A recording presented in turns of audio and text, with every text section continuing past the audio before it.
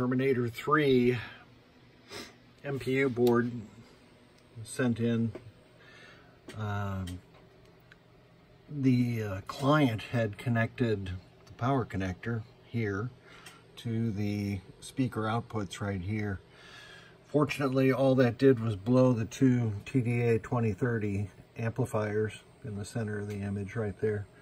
So uh, I replaced those. I checked all the uh, ROMs, verified those as being correct, checked all the socketed chips, and uh, everything appears to be working properly. Let's do the um, test sequence here. Switches. I have some of them on now, so it'll think that there's balls in the trough. But let's go across the diagonal here. They can't hurt you here. and uh, one of those switches elicits a Arnold quote, but uh, that is all working properly.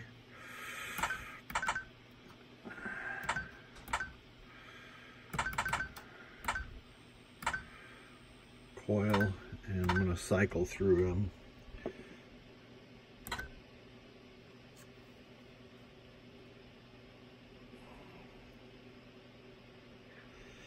Seven, eight,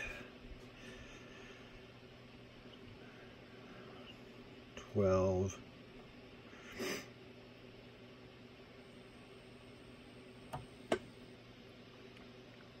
some of these LEDs are actuated for different periods of time because the game knows what kind of coils are on there and how long it has to actuate each coil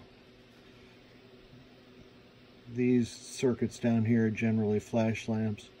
It's interesting, since T3 was the first White Star game, that uh, the diagnostics are pretty rudimentary here. Let's take a look at the lamps. All working correctly.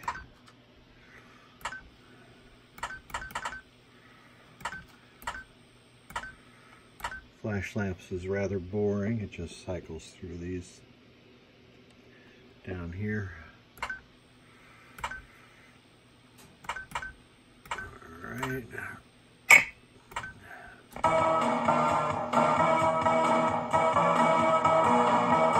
Outstanding. Sweet. Excellent. Perfect. Okay. Thank you, Arnold. Outstanding.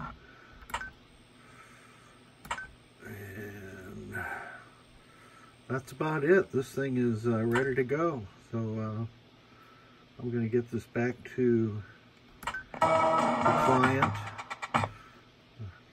and um,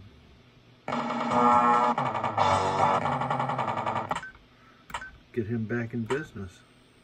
Thank you so much for sending it.